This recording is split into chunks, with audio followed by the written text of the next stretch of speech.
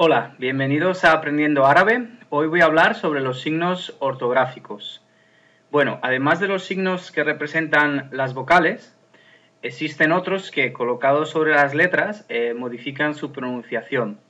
Es muy importante conocerlos y dominarlos porque de lo contrario nunca vamos a poder leer bien ni pronunciar, escribiremos ni comprenderemos el árabe de una forma correcta. ¿De acuerdo? Bueno, vamos a empezar. Eh, vamos a empezar con el sukun. El sukun es un signo auxiliar que se representa en la escritura como un pequeño círculo sobre la consonante e indica que ésta carece de vocal breve. La palabra sukun significa pausa y cuando la encontramos, eh, el habla, cuando estamos hablando, se detiene súbitamente la pronunciación. El sukun puede ir en el medio o al final de la palabra, pero nunca puede ir eh, al comienzo, como es de lógica. Vemos aquí tres ejemplos. Baitun, bin tun, naham. Casa, niña y sí. Vemos que cuando aparece el sukum, lo que es una parada. Baitun, bin tun. Está aquí encima, en esta también. Pasamos al siguiente, que es la sadda. La sadda indica la duplicación de una consonante en una palabra. La primera con sukun y la segunda con vocal breve. Se presenta la escritura sobre la consonante por un pequeño número 3 en horizontal. No llega a ser un número 3 porque tiene aquí inclinación, pero es muy parecido. De derecha a izquierda esa inclinación, ¿vale? Vamos a ver un par de palabras con sadda. Hatbasun, Fannanun, panadero y artista.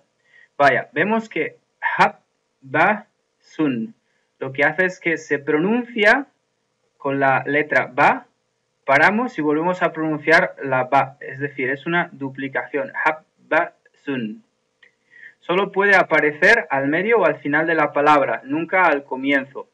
También se usa la sadda cuando un nombre que empieza con consonante solar se construye con el artículo alef lem. En este caso, la lam del artículo al pierde su valor fonético y aunque se conserve la escritura es reemplazada la pronunciación por la consonante solar respectiva, sobre la cual se escribe la sadda. Por ejemplo, sam sun, que es sol, sams, eh, si decimos al samsu, asamsu, es decir, la alef pierde y es asamsu. Cuando estudiamos las letras eh, solares y lunares, esto lo entendemos mucho mejor. Lo que hay que saber es que la sadda eh, genera una duplicación de una consonante en una palabra, ¿de acuerdo? Vamos con la siguiente, la madda. Es como un ain pequeño que se coloca encima o debajo de la línea para indicar una ligerísima parada en la pronunciación. Vaya, aquí hay una alef para poder verlo, pero vamos a indicarlo, es esto de aquí, la madda. ¿Sí? Vamos a seguir. Se coloca sobre, debajo, en el lado de Aleph y puede ir afectado de cualquiera de las tres mociones o vocales breves, de las cuales recibe el sonido A y U. También puede llevar sukun. Otras veces aparece aislado, supliendo la Aleph, y otras sobre el Waw o sobre la para indicar que estas letras ocupan el lugar de Aleph. Este signo puede ir al comienzo, al medio al final de la palabra, siempre sobre Aleph, como hemos visto aquí, ¿de acuerdo? Asiya, Akru, Amuru. Hacia, como y ordeno. Vamos a seguir por aquí. Vamos con el siguiente, el tanwin o la nunación. Se representa duplicando la escritura la vocal de la última consonante del nombre, eh, vamos a indicarlo aquí, vamos a escribirlo, vamos a subrayarlo, perdón, para ver cuál es. Tenemos este tanwin, tenemos este de aquí y este de aquí. Tenemos tanwin damma, tanwin fatha y tanwin kasara, es decir, puede tener el tanwin la anunación, el sonido de damma, fatha o kasra, ¿de acuerdo? Como aquí vamos a ver que hay tres tipos de, de tanwin. Vale, vamos a ver el primero. Tenemos el tanwin damma, ¿sí? Por ejemplo, en Kitab, que es un libro, Kitabun, un libro, Kanisaun, una iglesia, Kanisatun, una iglesia. Ah, lo que hace es darle un sonido eh, más largo, más pronunciado, el tanwin, ¿vaya? Tanwin fatha, seguido de un alef, sin valor fonético que se pierden los nombres eh, terminados en ta marbuta. Kitaban, kanisatan. Y el tanwin kasra, que es kitabin, kanisatin. Hemos visto entonces que el tanwin puede tener tres formas. Tanwin damma, con la damma, tanwin fatha y tanwin kasra. Vamos por el siguiente símbolo, la hamza. Vamos a dividir este signo en débil y fuerte. Tenemos la Hamza Wasl, que es débil, o llamada también Hamza de unión, que se representa con la parte superior de la SAT ligeramente oblicua. Se escribe solo al comienzo de la palabra, sobre o bajo Aleph, que le sirve de apoyo de acuerdo a la vocal que lleve. Sin embargo, por su naturaleza, tiende a desaparecer en la escritura. Se representa en las siguientes palabras, en el artículo definido, en los pronombres relativos, en el imperativo de algunas formas verbales, en los nombres verbales de algunas formas del verbo y en las palabras de uso común. Afecta a la palabra anterior en los siguientes casos. Cuando le precede el artículo definido al, el sukun del alam del artículo es reemplazado por la vocal de la primera letra del sustantivo. En estos dos casos vemos el ejemplo al-ismu, al-ismu, y vemos claramente en la escritura cómo se representa. Cuando le precede una de las vocales largas, estas son asimiladas totalmente en la pronunciación junto al hamza wasal. Fi al madrasati, fi al madrasati. ¿Sí? Y aquí tenemos los dos ejemplos. Cuando le precede una palabra que termina con sukun, este es reemplazado por una de las vocales breves. En la partícula de énfasis kat, el sukun es reemplazado por una kasra. Kat in kasra, kat in kasra se quebró. ¿Sí? Y aquí vemos los dos ejemplos. En la preposición min de, el sukun es reemplazado por una fatha. Min al babi, min al babi. Y vemos los dos ejemplos, el sukun y cómo es reemplazado también. En los pronombres personales que terminan con sukun, este es reemplazado por una dama. Hun al mashuruna, humu al mashuruna ellos los famosos. A veces no solo se elimina la hamza wasal con su vocal correspondiente, sino también su apoyo. Esto ocurre en los siguientes casos. Cuando la hamza wasal del artículo definido al le precede la preposición li, para. Li al baiti, lil baiti, para la casa. Vemos aquí la diferencia, li y cómo queda aquí. Cuando la palabra ibn, hijo, aparece entre dos nombres propios. Y vemos aquí el ejemplo. Muhammadun ibn Ahmada, Muhammadun ibn Ahmada. Muhammad, hijo de Ahmed. Y podemos ver aquí de lo que estábamos hablando. Cuando la palabra ism, nombre, aparece en la frase acoránica denominada basmelar. Esta es una frase muy conocida del Corán y que todos deberíamos de saber cuando estamos aprendiendo árabe. Ismi, Bismillah al-Rahman al-Rahim. En el nombre de Dios, el clemente, el misericordioso. En el nombre de Allah, clemente, misericordioso. La Hamza Kat, fuerte, llamada también Hamza de separación, tiene el valor completo de una consonante. Se pronuncia con claridad y en general se escribe. Su escritura está determinada por la vocal que lleva y la vocal que la precede. Puede venir al comienzo, al medio o al final de la palabra. Como primera consonante se escribe de la siguiente forma. Sobre Aleph cuando lleva adha y cuando lleva damma. Adbun, fun, padre y mil. Uktun, hermana, madre. Bajo Aleph cuando lleva kasara. Imamun, insanun, un imán y un ser humano. Como consonante media se escribe de la siguiente forma sobre Aleph cuando lleva Fatha o Sukun y viene precedida por Fatha, Sa'ala, Tahtirun. Él preguntó influencia. Se elimina en el imperativo de los verbos triliteros cuando cuya, perdón, primera consonante radical es un hamza kat.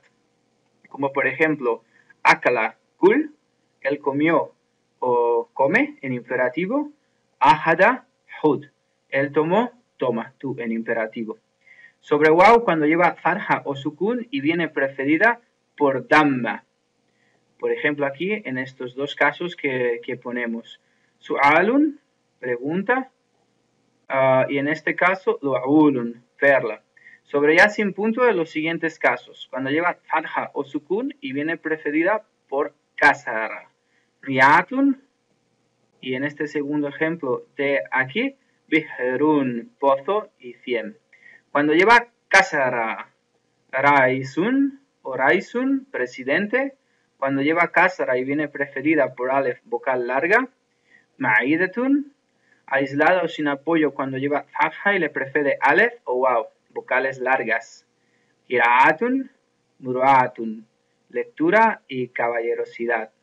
Como consonante final se escribe sobre alef cuando lleva fatha y le precede fatha y sobre wow cuando lleva fatha y le precede dam. Ah, kara'a, mala'a, yaru'a, baru'a él leyó, él llenó, se atrevió, se curó. Sobre ya, eh, sin puntos, cuando lleva fatha y le precede kasara, kuria, hatia. Fue leído y se equivocó. Aislado, sin apoyo, cuando viene precedida por sukun. Uh, yusun, badun, tomó y principio. Aleph, vocal larga. Saharaun, un desierto y blanca. Wow, vocal larga. Suaun, malalun, mal y lleno. Y ya, vocal larga. Yayu, bariun, viene, llega y inocente. Vaya, podemos ver que la Hamza eh, tiene un montón de, de variedades, ¿de acuerdo? Todas estas formas al final solo se aprenden con la práctica y conociendo bien la gramática. Es imposible que al principio nos quedemos con esta información. Es la que más variables tiene en base a, bueno, una serie de circunstancias. Vamos a pasar por la siguiente, que es la ta marbuta, que es la ta cerrada o ta marbuta. Eh, tienen en árabe la misma forma que una ta, solo que está cerrada y que lleva esos dos puntitos. Aparece siempre al final de palabra y casi siempre designa el femenino de los nombres. Es decir, en casi todos los casos que nos encontremos algo excepciones, la tamarbuta está indicando que es femenino. Por ejemplo, en esta palabra de aquí del ejemplo, al-madinatu, Medina, ciudad. Cuando la tamarbuta aparece en una palabra a mitad de la frase, siempre se pronuncia junto a la vocal breve correspondiente. Y cuando la tamarbuta aparece en una palabra al final de la frase, nunca se pronuncia, Asimismo, tampoco se lee la vocal breve que tenga encima. Por ejemplo, vemos aquí estos dos ejemplos. Madrasatu al-Walad, el colegio de los niños. Ana adrusu fi al-madrasa. Yo estudio en el colegio. Casi siempre designa el femenino los nombres y adjetivos. En una palabra aislada no suele pronunciarse su tamarbuta y tampoco la emoción o letra breve que le acompaña, dejándose percibir solamente el farja que le precede como en madrasa, que hemos visto antes. Pero cuando la palabra que acaba en la marbuta sigue a otra o se encuentra en medio de dicción, en este caso sí que se pronuncia. Vemos aquí un cuadrito que se ve aislada al final y media o final. Vaya, media inicial, perdón. Vamos con la siguiente, que es este simbolito de aquí, que es lem alef. Este que tenemos por aquí, para no perdernos. Es el resultado del encuentro de una lam con un alef y se pronuncia la. Esto de aquí.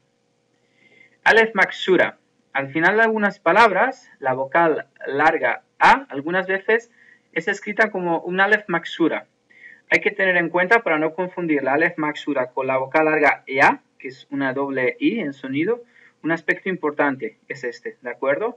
En la vocal larga ya, la vocal de la letra precedente siempre es un kasara, pero en el caso de la vocal larga Aleph, la vocal de la letra precedente es siempre un fatha. Vamos a señalarlo aquí para no olvidarnos.